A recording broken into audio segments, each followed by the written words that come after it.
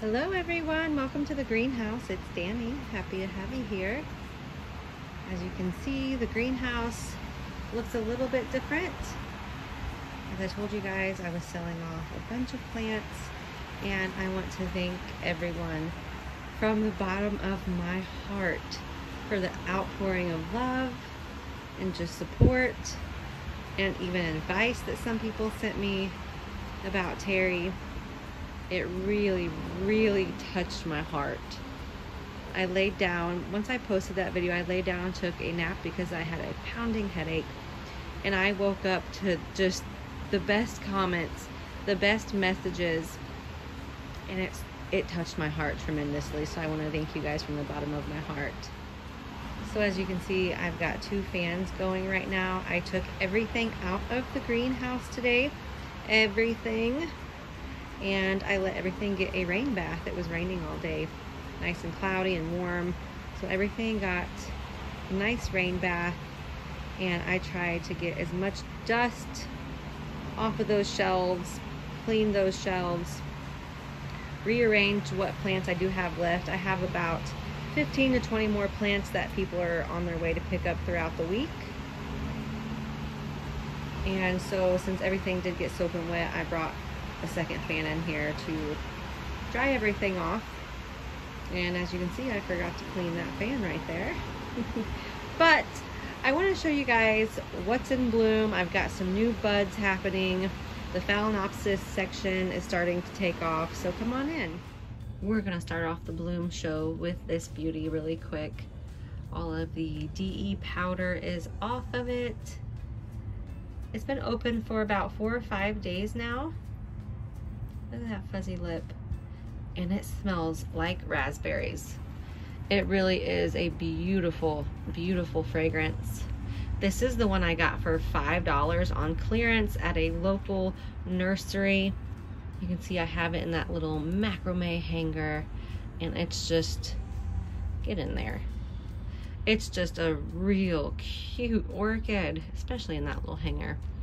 And up here we have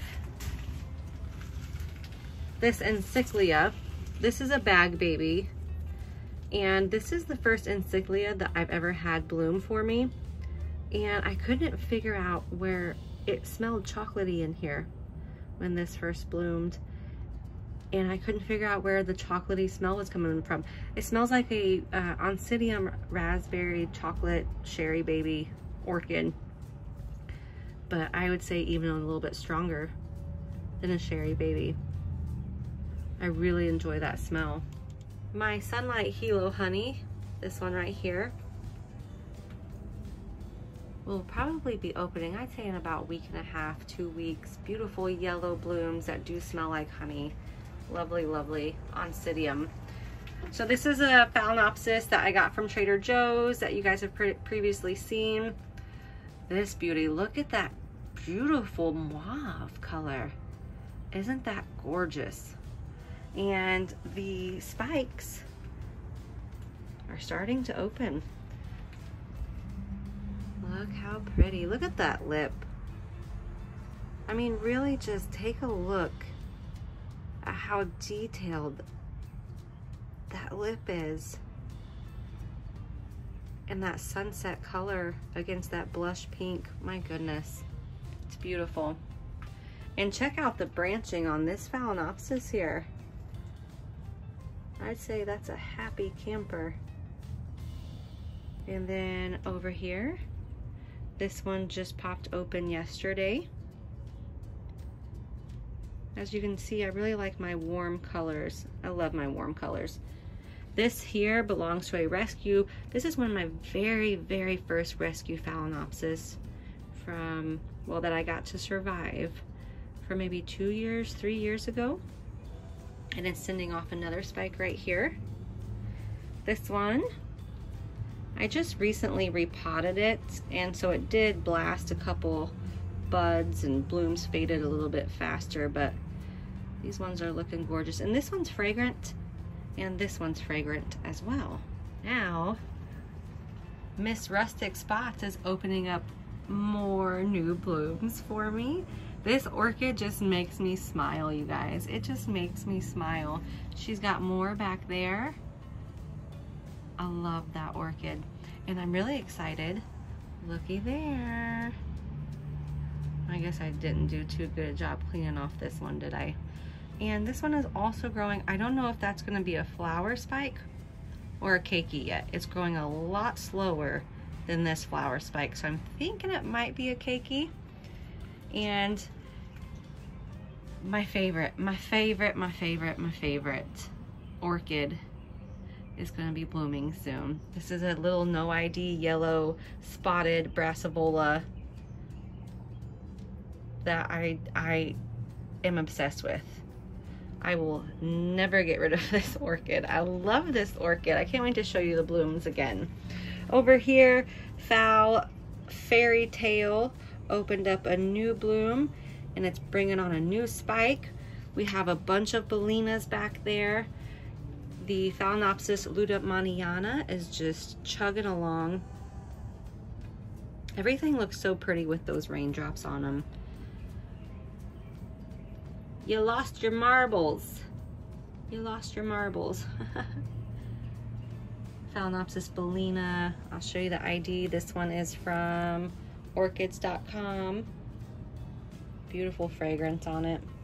And it's got another big old bud right there. Another one coming along. We have another bellina coming along right there. And where is it? Violacea sent up another new spike right here. This here is my oldest Cattleya type orchid. I know it's little, I know it's a tiny, just now blooming for me for the very first time. But I bought it, it was my very first eBay purchase. I purchased it for $3. And this is the original leaf. So you can see just how tiny it was when I got it. And I'm so excited to finally see what it's gonna be. Over here we have Dendrobium microchip blooms coming along.